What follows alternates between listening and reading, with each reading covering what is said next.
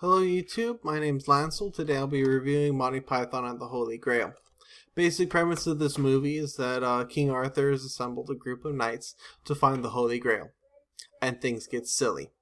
Uh, there's a lot of dancing involved, there's a lot of coconuts being clapped together, and for some reason nobody knows the difference between 3 and 5. I love this movie, it's really funny. They use a lot of sarcasm, their dialogue is just really well done. One of my favorite scenes is right around the middle where the king of Swamp Castle is telling these two guards to keep his son in the room until he comes to get him. And the guards do not understand that instruction at all.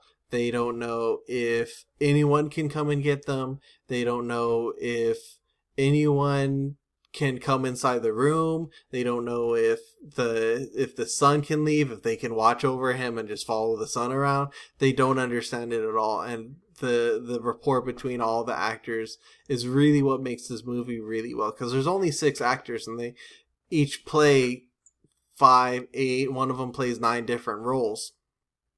Uh, if you don't know Monty Python, this would be a great place to start because it's set up a lot like the old sketch comedy show. There's a series of sketches that all follow a main line.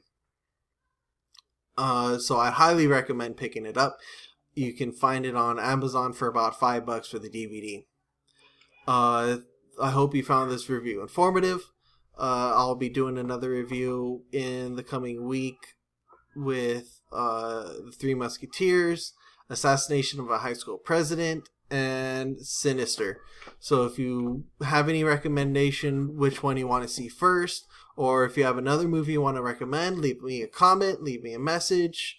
Uh, I guess subscribe too. I don't know how that works, but I will see you sometime. Thank you.